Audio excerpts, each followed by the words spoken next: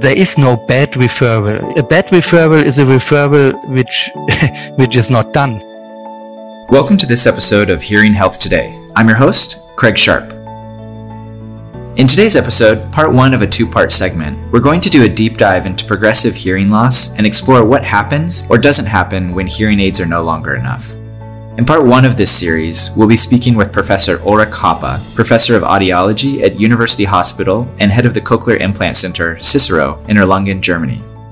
This is a podcast for hearing health professionals. If you are a person with hearing loss or a member of the general public, please seek advice from your health professional about treatments for hearing loss. Professor Hoppe, thanks for joining us on today's episode of Hearing Health Today. Out of curiosity, where are we reaching you? Yeah, good morning. Uh, I'm now on the other side on the earth uh, in Germany, and I'm in my office. Uh, it's morning, uh, coffee time for, uh, regularly, and, and it's a great day here. Fantastic. Well, thanks for joining us. Hopefully, you have a, a, strong cup of coffee with you there in Germany. On today's episode, we're discussing the migration from hearing aids to cochlear implants. And I wanted to kick off by asking you why do you think it's so challenging for patients with hearing loss to get the appropriate level of treatment? Uh, let me go a little bit before the time uh, where the switch is necessary. In the first, hearing impairment is an invisible impairment as long as you do nothing against it. I know so many people hard of hearing, but they don't wear hearing aids. They do nothing. So they are not very happy. But when these people try hearing aids, usually they improve their hearing a lot and they, yeah, can cope uh, with them. But then over the times, many people have a, progressive hearing loss and hearing become worse and worse.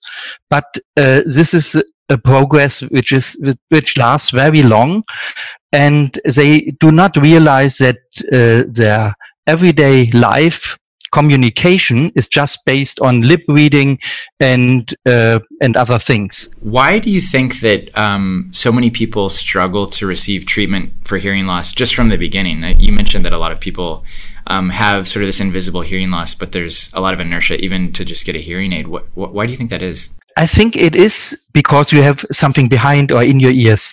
And uh, I, I, know many people who say, uh, oh, uh, I have a slight impairment, but no one should uh, see this. And uh, this is from the psychological view, yeah, the first barrier for, for hearing impaired people. And we have a similar situation for the next step because uh, you, you wear hearing aids for longer time, for years and years. And uh, then maybe they are not enough, but uh, then we have the similar situation because the step to a, a cochlear implant is uh, an, another thing and uh, because they are not aware that the hearing aids provide not enough amplification. You said something interesting where when you have hearing loss and you make the decision to get a hearing aid, it's visible to everyone that you have a hearing impairment. Do you think that that's changing slightly with the introduction of hearables and even um, some of the hearing amplification features that the AirPods, for example, um, recently came out with? Yeah, uh, this is changing. This changed uh, tremendously over the last years. But uh, still, two years ago, I had a famous politician here in my office, and he is hard of hearing, and he tried small, uh, just with a mirror, he tried and looked and said, "No, I cannot wear hearing aids because then in my party everyone is laughing about me in the background." Sounds like maybe some progress that's made, but still ways to go on that front. Yeah. I'm curious, have you seen people that have actually been more likely to receive treatment for their hearing because they've used maybe a more consumer hearing amplification device? Uh, yes, I, I think uh, because today nearly everyone uh, walks around the street with something in the ears, AirPods or something, and uh, Bluetooth devices, headsets, and uh, so hearing aids are not these uh, tiny little yeah skin colored things for only worn by older people. Yeah, I remember a few years ago when, you know, no one would be caught dead walking around with a Bluetooth headset. but uh, now everyone is walking around with AirPods or whatever in their ear. Um, well, I guess going back to what you said about so once people do receive treatment um, for a hearing aid, so that they have um, some level of intervention for their hearing loss, what causes people to get stuck in that channel when when hearing aids become no longer enough? Yeah, uh, one important issue is that these people change their lifestyle habits. Uh, they avoid acoustically challenging situation as going to cinema, theater, pubs or crowded restaurants and uh, they reduce their communication to easy situation for example with uh, well-known people in a face-to-face conversation and they avoid all other uh, situations. Uh, this uh, is what you see when the hearing impairment progresses over years. And then in another example, I uh, know some couples where one is uh, hard of hearing and the other one has normal hearing, and uh, there is a dependency. The normal hearing partner does a communication for the whole family and for for this couple, and uh, this is a not a good situation, but uh, I see it very often.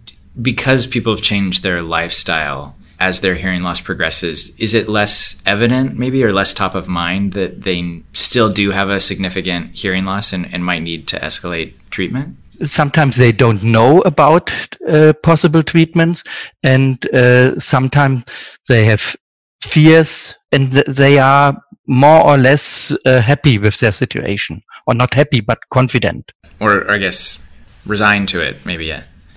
So it sounds like there's quite a bit of like psychological barriers to even seeking the next level of treatment. If someone were to get over that hurdle, are there other barriers that might prevent people from getting um, sort of the next level of therapy, whether that's a cochlear implant or, or some other intervention? When I came the first time to Australia, uh, I was in, in taxi going from the airport in Brisbane, and uh, the taxi driver asked me, "Oh, where are you going to?" I told them I'm going to a, an audiological conference. Not very uh, interesting, I thought. The taxi driver immediately told me, "Oh, that's a." A very good thing, these hearing aids and these cochlear implants. And, and I was very astonished because in Germany, I know many medical doctors who don't know about a cochlear implant.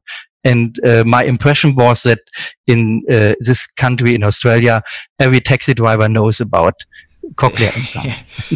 it sounds like there's an awareness problem that there are even treatment options beyond hearing aids, both on the side of consumers, patients, and also healthcare professionals. Is that accurate? Yeah, healthcare professionals, they know something about cochlear implants, but probably they know the status 20 years before. They left university 10 or 20 years before, and uh, they don't know anything about the power of cochlear implants in, in these days now. Is that true for audiologists as well? For like uh, hearing aid audiologists or acousticians?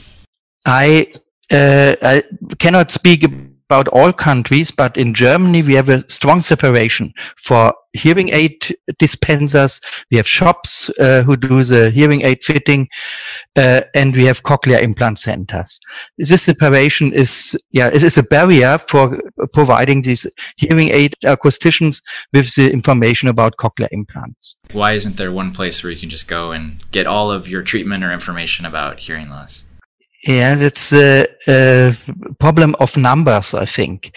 Cochlear implantation is a very rare thing. We have in Germany about 50 implantations per year per 1 million inhabitants. So if you have a really large town, we have one cochlear implant center and probably you have 100 shops for hearing aids. So th- there is a, a, large difference. So you have to bring the information to them, but not every hearing aid acoustician has access to cochlear implants. It, it's funny, it sounds like a bit of a catch 22. Like, there are a lot of people that could benefit from cochlear implants, but the access to care isn't always there because at the moment, cochlear implantation is uh, rare compared to hearing aids. But it's rare compared to hearing aids because there aren't as many people that have cochlear implants. So, yeah. how do you solve that riddle? We, we try to bring the information out to the people and uh, directly to the to the patients. And uh, we in our cochlear implant center have, for example, once a year a hearing day. It's not a cochlear implant day. It's not a hearing aid day. It's a hearing day. And this day, we uh, have about 250 hearing impaired people coming every year to our uh, center. Uh, we have talks about hearing aids, tinnitus, um, uh, and cochlear implants in particular. We have many people already implanted and they tell the others what was good and what is uh, sometimes a problem with cochlear implants because this is also important to tell the whole story. And has that been pretty successful in building awareness? This was the only solution. We started in 2008 with this uh, day to make the topic hearing uh, little bit sexy and to, to, to, for people and not to have only people there uh, who are uh, frustrated. But over the years we we had prominent persons talking about their life with hearing aids or with cochlear implants. And today it is uh, yeah it's a standard congress in here in our region. And we have 200 or 300 people coming every year. One audiologist told me that often people are candidates for cochlear implants um, years before they actually receive one. And I'm just curious if someone were to get the intervention sooner, I guess, um, as soon as they became a candidate versus later, do you see a difference in terms of long term performance or outcomes? It, the longer you wait for a cochlear implant, the longer you uh, are hard of hearing, the longer you lose information and you change your lifestyle habits. And these things are more important maybe than the uh, neural nerve functioning or whatever. Do you ever encourage patients to um, connect with someone else that did go through that journey and receive a cochlear implant? Yeah, in our region, some cities, groups of patients who meet every month. And uh, these meetings are very important. And we have all the information here in our center and encourage them to go to these meetings and to talk with people who are already wearing an implant.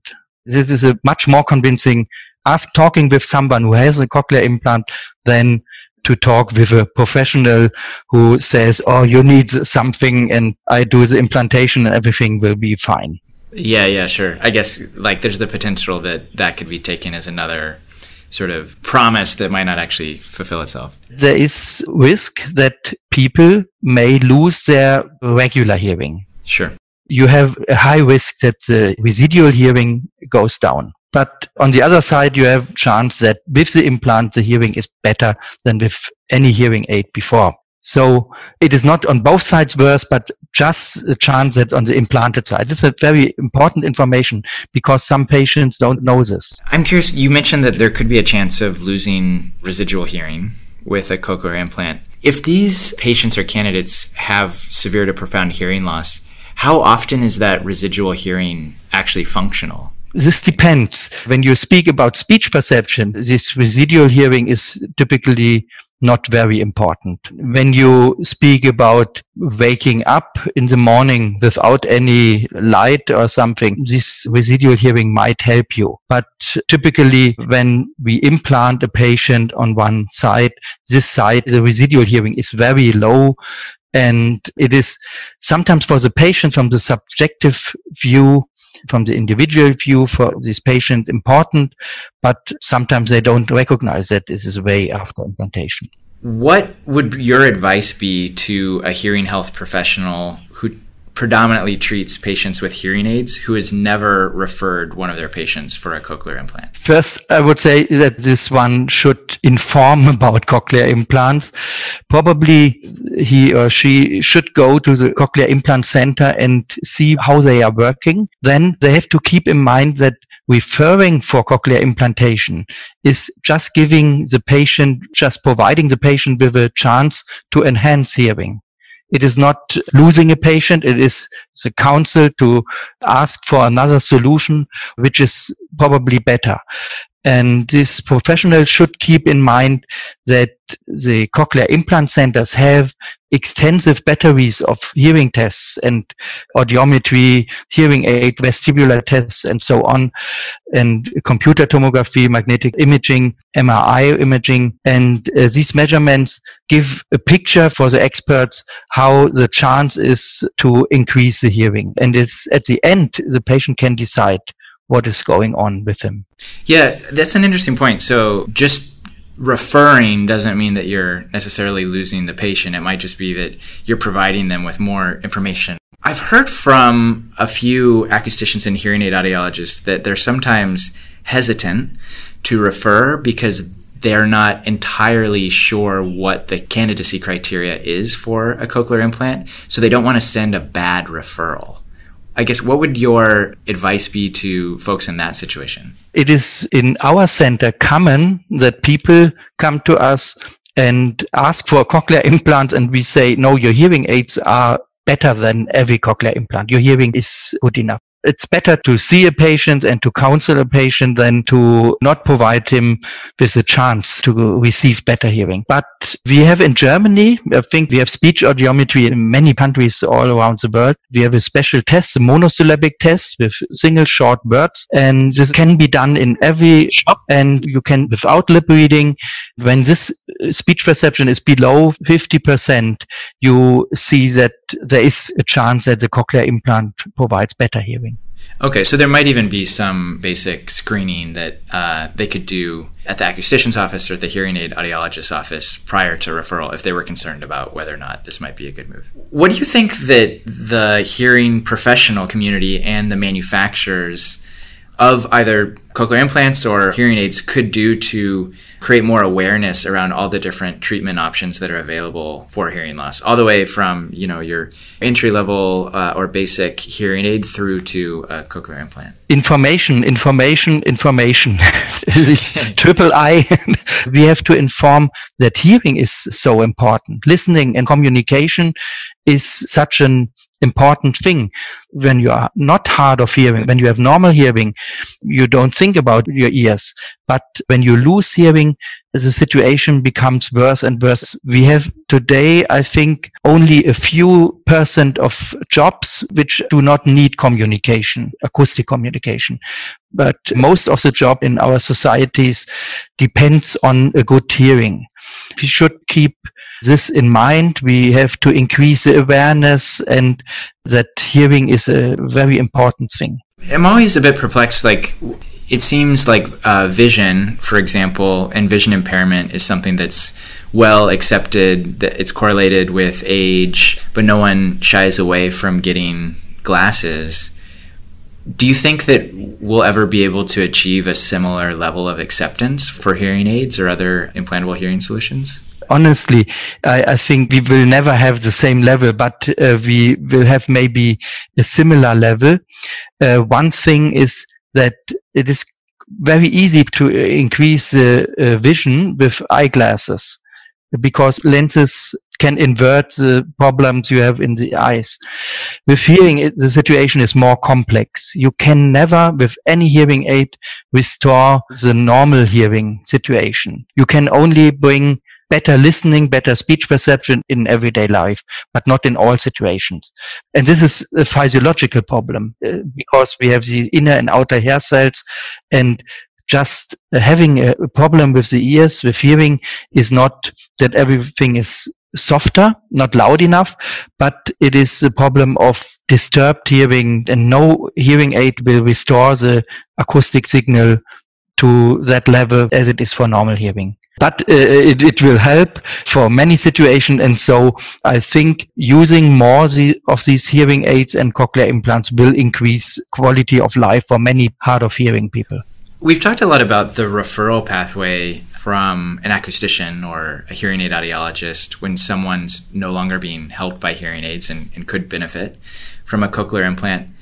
I'm curious though, sort of what role do primary care physicians or general practice MDs um, or even geriatricians, I guess, play in terms of identifying hearing loss in their patients and then referring them for appropriate treatment? Is that another avenue where there might be a lack of awareness or um, something we could do as the hearing community to um, increase the level of education and awareness around treatment options? It is definitely an important issue. This GP quite often refer people to our center. It's not the ENT, it's not the acoustician, it is uh, the audiologist, it is uh, quite often a GP.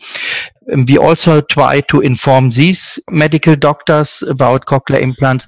So you mentioned earlier that a lot of patients with hearing loss who have a hearing aid and have a hearing aid for multiple years kind of get disillusioned by some of the marketing messages they hear about hearing aids like this is the next best thing it's going to solve all their issues and and when it doesn't they might get a little despondent about what the future could hold.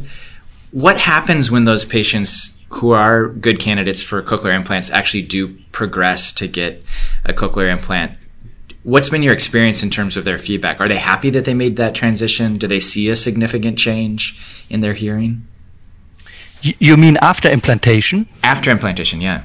Yes, we have a very hard quality control in our center.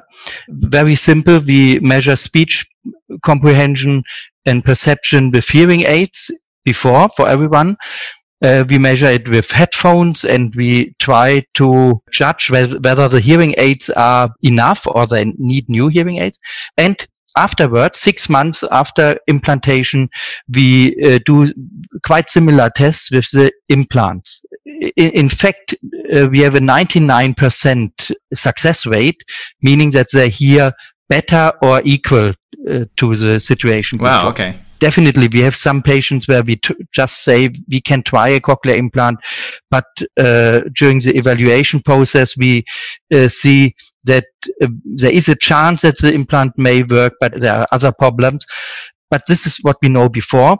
Uh, at the end, we have uh, just 1%. Uh, this means in our center about one patient per year or two patients per year who are not happy with the implant. But the others have an pretty increased speech perception. So, would you consider a referral to be a bad referral if it resulted in someone just finding out that they are doing just fine with the hearing aids that they have now and they might not yet be a candidate for cochlear implants? There is no bad referral. A bad referral is a referral uh, which which is not done.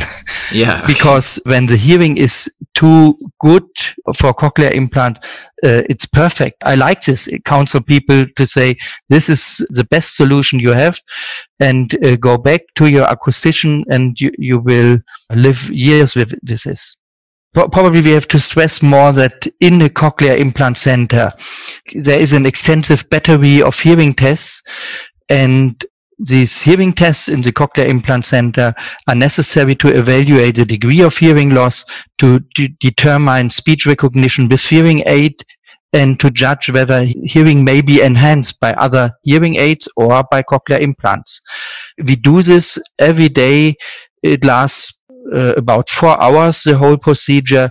But at the end, we have a picture of the patient and we have all the data necessary to counsel them going for cochlear implantation and counsel them about the risks and the chances you have with a cochlear implant.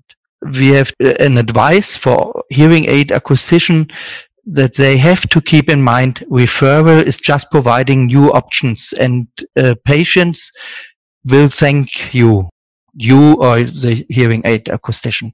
Yeah, and I guess maybe on the flip side too, even if those uh, patients aren't candidates for a cochlear implant now, it at least provides some level of awareness that should their hearing deteriorate further, um, they know that there's some other option out there. Yeah, because uh, the truth is that most of the hearing loss types are progressive, and over the years, very often people have to uh, go to a cochlear implant.